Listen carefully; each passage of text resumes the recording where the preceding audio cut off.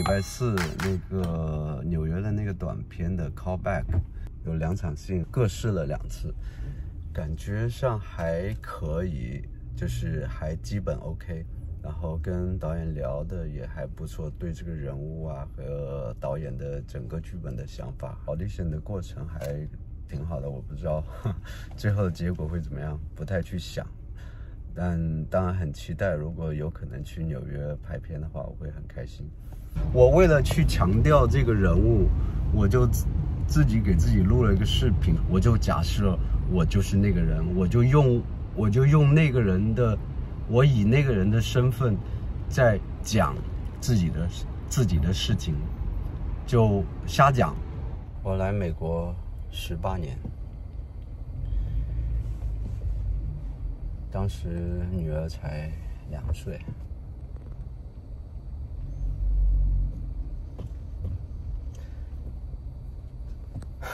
当时 还是挺有憧憧憬的。想在美国创下一番事业，然后能够衣锦还乡吧。呃，生活所迫，当时选择开一家，被迫选择开了一家玉石店。可能因为是我当时学的专业嘛。我当时学的是珠宝鉴定，但是我压根在这边就用不上鉴定，只有手工加工。那你知道这样的加工是不可能赚到很多钱的。我也不是一个善于经营的生意人，所以这店开的就。挺勉强的，就是能大概吃口饭吧。但是你说再怎么好，挺难的。所以太太也一直在工作，两个人工作，他的他的工作毕竟是毕竟是服务行业，所以。有些小费还可以，但是我这边的话，因为是现在这个商场的经营状况也不好，再加上我本身这个行业来说也在，虽然我手艺是在不断的提高，但是确实生意很差，甚至有时候买到一些假的玉石。还会亏钱，一晃就十八年。我觉得唯一值得我高兴的就是女儿，一直都挺听话，而且最近还考上了普林斯顿。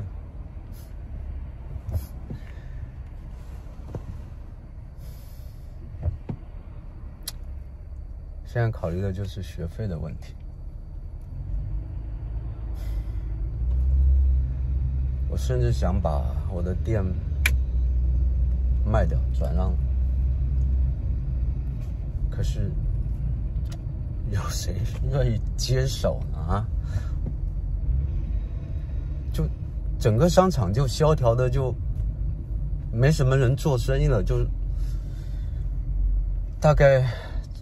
有三分之一的老板都已经撤了，所以后来尝试过，就是找人接手是不太可能。可是你你你想，女儿上了这么好的学校，你你你能不支持她吗？对吧？你总得想，你总得想办法嘛。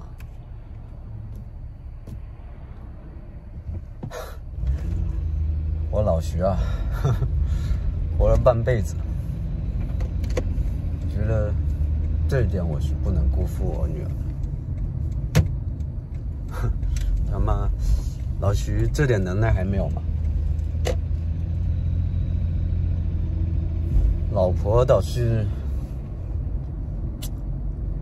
我非常不同意她的想法，就是去找别人帮忙，还有就是对对女儿上大学，反正觉得就是上一个普通大学就好了。我不知道她是怎么想的。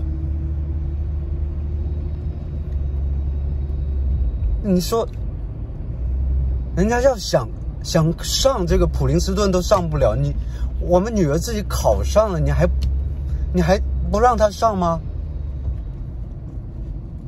你这点钱对我们来说是挺多的，但可是你你你能随便向别人开口吗？作为一个男人，我我我会有办法的。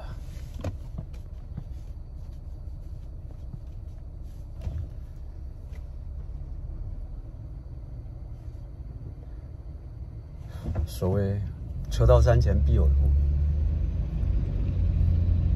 对吧？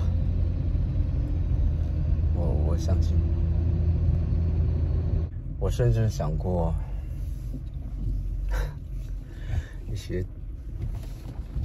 极端的想法，我不知道能不能成功，但是我觉得值得一试。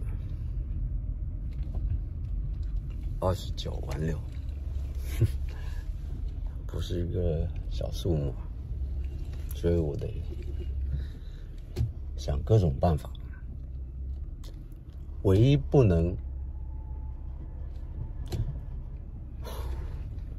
唯一不能接受的就是